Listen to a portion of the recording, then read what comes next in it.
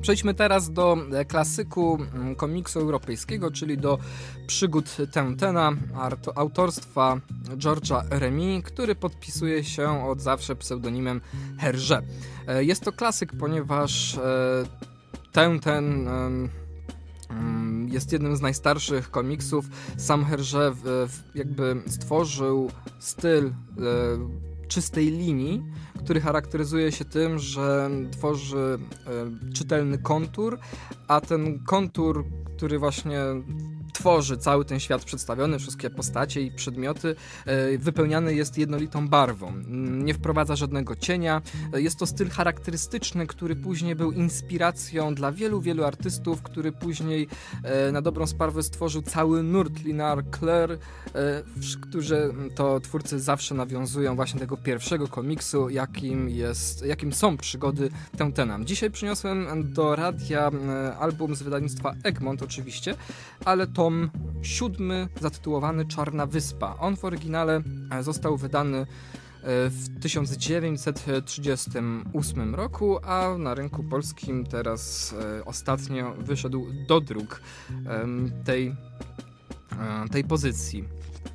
E, warto, przy, warto zaznaczyć, że ten, ten jest naprawdę niesamowitym klasykiem, e, jeśli chodzi o komiks europejski, ponieważ e, do tej pory został wydrukowany w ilości około 200 milionów egzemplarzy, został przetłumaczony na ponad 91 języków. To, jest, to są naprawdę niesamowite liczby i niewiele artystów może się pochwalić takim dorobkiem.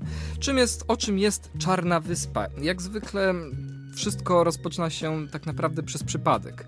Belgijski reporter Tenten mm, jest, widzi samolot, który musi awaryjnie lądować, ale e, zastanawia go fakt, że ten samolot nie jest oznaczony. Więc idzie zobaczyć o co chodzi, ale szybko dostaje kulkę w brzuch. Na szczęście zostaje odratowany, i wyrusza tropem e, właśnie tajemniczych e, zamachowców.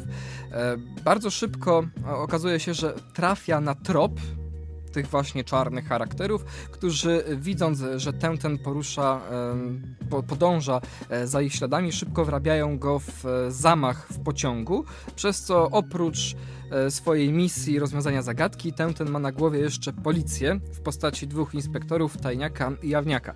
Jest to duet humorystyczny, aczkolwiek e, no, trzeba jednak uważać na tych dwóch e, policjantów, z czego ten cały czas ma ręce pełne roboty.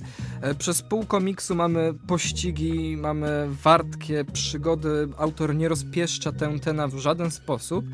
Nasz główny bohater trafia na szajkę fałszerzy pieniędzy, a trop Podążając za, za nimi, e, trop doprowadza go do Szkocji i do tytułowej Czarnej Wyspy, na której grasuje potwór.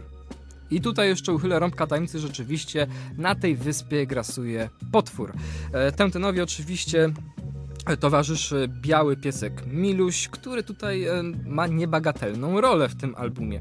W każdym razie E, jak każdy album z tej serii charakteryzuje Tentena um, to, że jest to pozycja, którą można kierować i do najmłodszych, ale również starszy odbiorca będzie miał e, również wiele przyjemności z lektury, ponieważ jest to komiks przygodowy. I to komiks naprawdę przygodowy pełną piersią, ponieważ tutaj jest mnóstwo akcji po prostu. E, cały czas e, ten, ten jest stawiany przed nowymi problemami. Cały czas e, ściga tych złych, złych ludzi, którzy no, również nie są w ciemię bici i zastawiają różne przeszkody, które ten, ten musi pokonywać.